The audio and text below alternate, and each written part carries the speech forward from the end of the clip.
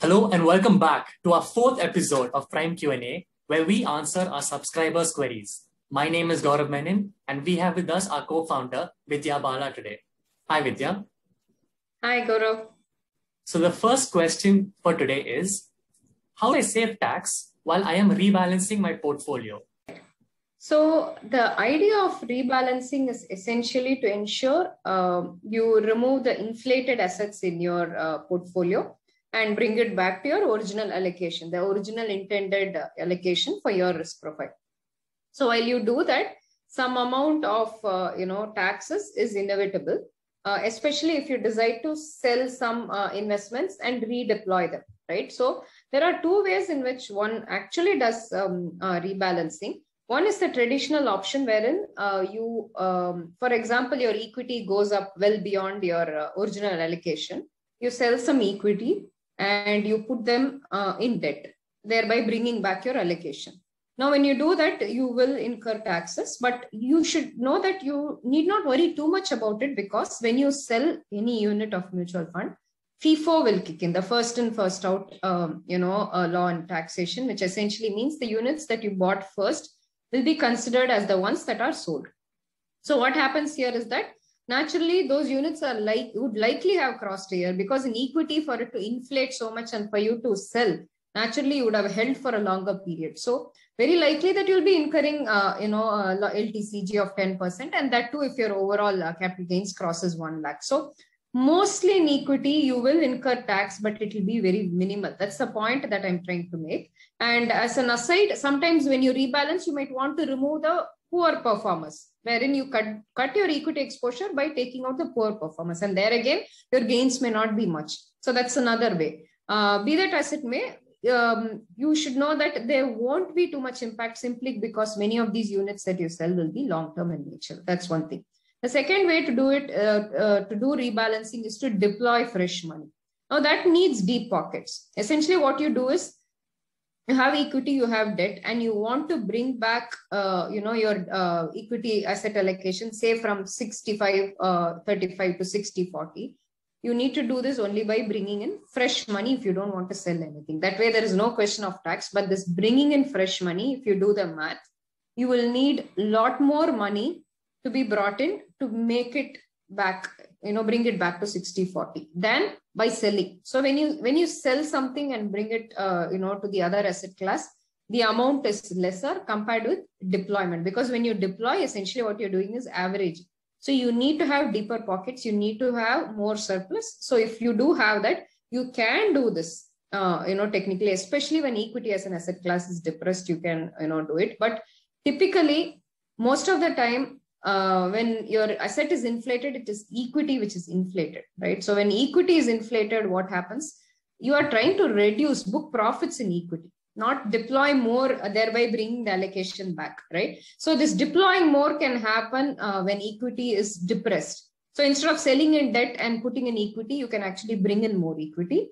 But when equity is inflated, where you're booking profits in equity, just book profits. Don't worry about, uh, you know, the taxes. Like I said, it won't be high. So that's the way to go about it. Thank you, ma'am. Now, our second question is, what is your view on the RBI portal for buying GSECs directly? Can they replace our FDs and debt mutual funds? So from a time when, you know, uh, uh, GSEC government securities or gilts as they are called was difficult for retail investors, now they are becoming a lot more accessible. They are even offered, the auction is now open uh, even for retail investors, etc. But uh, the so uh, yes, it's it's a good idea. But the second point to the or to the question whether they can replace FD and uh, debt mutual funds, not necessarily, because you should understand that gilts are safe as instruments, uh, uh, uh, credit instruments. That is, they are of high quality credit because it's completely government backed. But that does not make them risk free. They have another element of risk, which is called the duration risk, right? So when you buy gilts in the wrong interest rate cycle, you may suffer losses. What is a wrong interest rate cycle? So when interest rates are moving up and you try to buy a 10 year gilt, what happens is the price of the instrument false. So the, they are, you know, inversely correlated, as we say, the price and interest. So when interest rate goes up, the yields move up and the prices fall. So you may be actually catching a GSEC at the wrong moment, and that may mean some temporary uh, losses that may even extend up to a year until you know it is made up in the next interest rate cycle. So and therefore, if you are an FD investor, a gilt is definitely not a substitute for you. And if you substitute it, you should know that there will be these mark to market losses, these temporary losses that are called mark to market losses will be prevalent. You should not be checking them and worrying about them. If you're just happy with the interest that you're getting from the gilt, so be it. You can buy and hold it for a long uh, period, whether it's a five year gilt or a 10 year gilt. But these losses you should be aware of.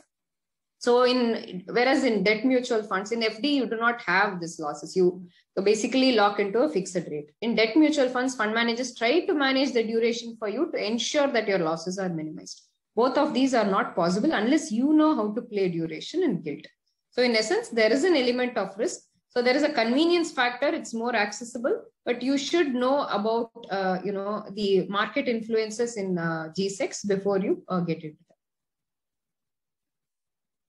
Yes. Thank you, ma'am. Now, uh, before we move on to our next question, don't forget to like this video and uh, subscribe to our channel. And uh, now for the third question today, why is there no buy recommendation for any liquid fund scheme? Right. So, and uh, with Prime Investor, in the way that we assess uh, liquid funds, many of you would have found that we just have holds and if a fund is very bad in liquid schemes, we have a sell. The reason is that there is a very, very marginal difference in the way these funds perform. Because pretty much they all hold the same set of instruments because these are liquid instruments around 30 days old or at best, you know, 40 days old. And they are of the same universe, of the same credit worthiness. So, and of roughly similar yield. So there is not much of a differentiation barring very minor, you know, um, uh, facts like slightly dif- uh, differentiated expense ratio and so on. And therefore, you know, when we give weight to all of these metrics, their differential in terms of the overall score that we get is so low that we don't want to distinguish one with the other. Also, their life tenure is very short, right? So they have an average maturity of 30 days, 40 days. So you need to keep, uh, you know, kind of the new papers will have an entirely a different set of metrics. So instead of assessing unless there is a risk, in which case we give a sell, we think all of the liquid funds are very close to each other in terms of performance and the nature of the uh, papers. So you can choose uh, any of them as long as they fit your requirement. For example, you're doing an STP. You need a liquid from the same fund house to do an STP into an equity fund. So you can choose accordingly as long as we have a, a hold in it. Yes, Thank you, ma'am. Now, uh, the last question for the day. Uh, in your review tool, L&T Value Fund is a sell, but in Hindu Business Line, they've given it the highest rating possible, five stars. Why is there such a big difference? So um, our review tool, as you would know, uh, actually has the reason for every uh, you know uh, call that we have. It's in few lines, but we have the reason. If you had gone and seen this through our ratings, you may not have found it. So go instead to our MF review tool where uh, there is a separate column called reasoning and we say why a certain call is a buy or a hold or a sell, right? Now, having said that, with the L&T India value, uh, the fund post 2018 when it underwent a category change, etc. When the, I mean the entire mutual fund industry got into newer categories, uh, its performance started slipping. It was a lot more aggressive earlier with much more of a mid cap tilt than it has now.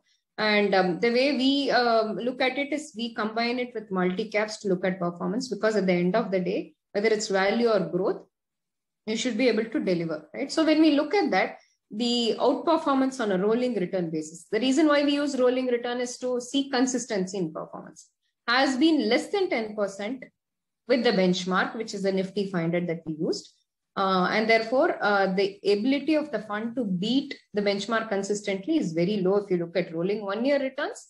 And it has been low if you look at rolling three year returns as well. Now, uh, primarily, it has been steadily underperforming, barring, you know, some uh, bouts of outperformance like value overall is outperforming now here and there, but those are very short, you know, kind of um, moves that we cannot take a call on steady underperformance over a period combined with various other upside capture, downside capture, that is ability to contain downside, ability to perform on upsides, the volatility, all of this have been below category average in our books. I wouldn't be able to compare with what Hindu business line uh, showcases, but uh, you know we have our uh, methodology explained in the website. You could uh, you know go and uh, check that out. Uh, and please use our review tool, not just the ratings, because we have the reasoning given in the review tool section. Yes, Gaurav.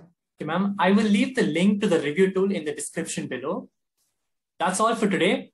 If you like this video, please uh, like, share, and subscribe. Also, if you have a question that you'd like us to answer, let us know in the comment section and we'll get back to you on that. Bye for now and see you soon.